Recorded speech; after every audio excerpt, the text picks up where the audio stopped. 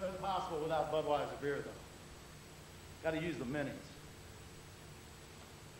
Into the six, into the corner pocket. This is one of my Annie Oakley, uh, was very proficient at shooting the gun behind her back. So I call this my Annie Oakley shot. I'm going to shoot the cue ball into the six. Cue ball will come to rest on the center beer bottle, and I do it all by putting, shooting it behind my back, one-handed.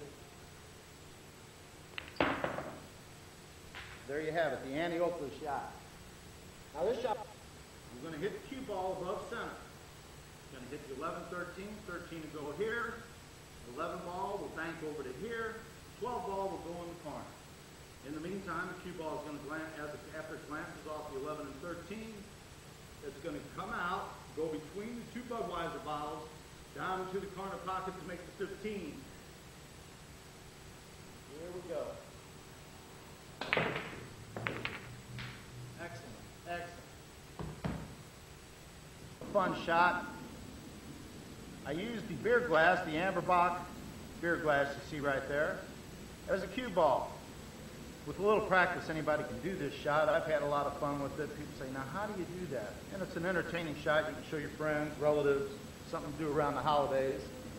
I'm going to stroke into the glass using it as a, as a uh, cue ball around the rack in to make the one ball. I don't know if it's got enough speed. It's going to make it. There you go. Simple as can be.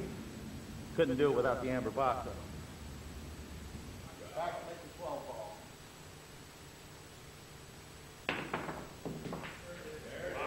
Yeah! Thank you, thank you, thank you.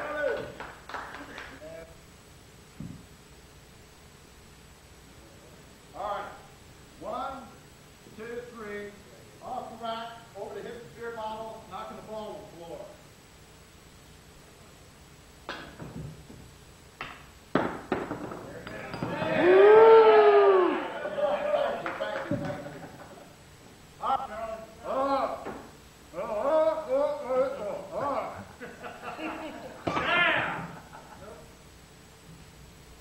Stay with me, boys. There it is. Are we there?